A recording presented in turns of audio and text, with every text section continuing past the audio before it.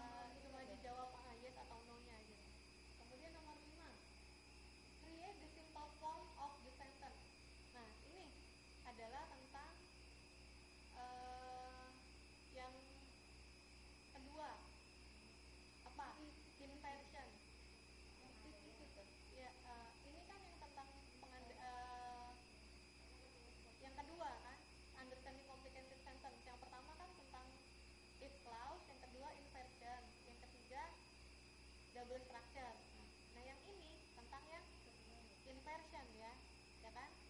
Dia kalimatnya diinvert jadi kita harus membuat kalimat yang simpelnya seperti apa. Oke? Okay? kayak yang tadi misalkan should you have any question? Send me email. Itu simpelnya apa? Should you have any question? Send me email. If you have question